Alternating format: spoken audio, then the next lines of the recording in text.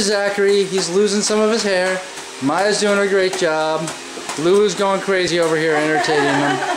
He's about half done, as you can see. He looks like a new man. Nobody's gonna recognize him. Nope. He's smiling.